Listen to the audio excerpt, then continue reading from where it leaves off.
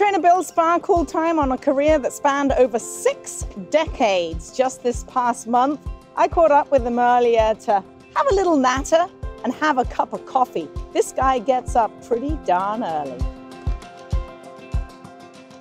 Why so early? I get up at 2.30. I get here, I want to study my horses, and see what they ate, and see how they are at different times so I know then something's wrong. And I, I, I'm here twice a day, every day except on race day. I'm here three times a day. Is everything gone? You're having a fire sale here. You're yeah, selling everything. Everything's gone. Yeah. Geez, I didn't know it was so popular. Making deals. Buy one, get one free.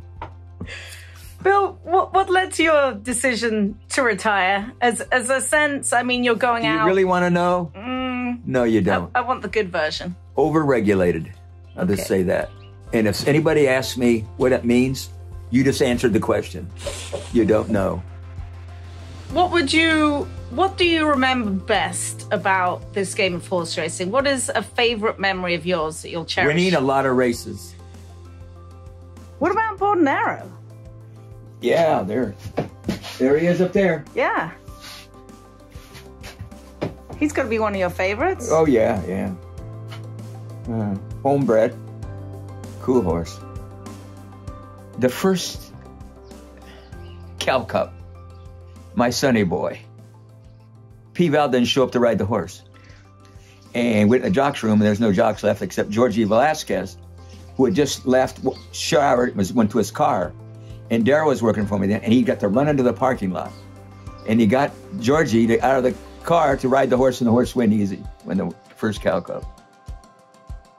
Well, my pal Bill, very sad to see him retire. Uh, he's been around here a long time. Bill and I go back to the 70s at Bay Meadows. Uh, I think one of the things that's not appreciated about Bill is how good he was to his health. Uh, when I worked for him, he treated me great. And one time we had a big Christmas party over at a, um, a Mexican restaurant in uh, Monrovia, and he, he bought televisions, uh, all sorts of things for all his employees. Good guy and an excellent horseman. Now there's a story. Hollywood Park on 1986. That's it. He bred in Hollywood, huh? He's a neat I was horse. 12. Who's this? That's at Oaklawn Park. What's that say? Master. Master Gennaro. Mr. Gennaro. Mr. Gennaro.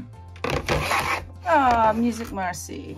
Nope. You already took Amazombie down, didn't you?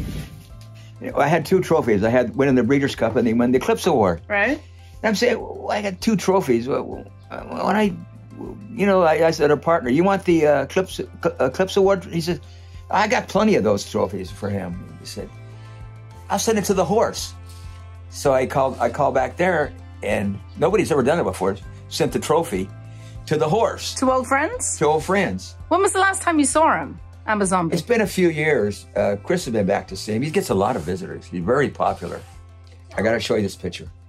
I sent the picture back there for one of the Eclipse Award, and they took a picture of him looking at his trophy, and it's precious. That's so cool, and that's an old friends with him. Yeah, that's so awesome. It was in a magazine. It was so great. Yeah. If you had one thing to say to a young person coming up now, mm-hmm. what would it be? Don't do it. Something else, Bill.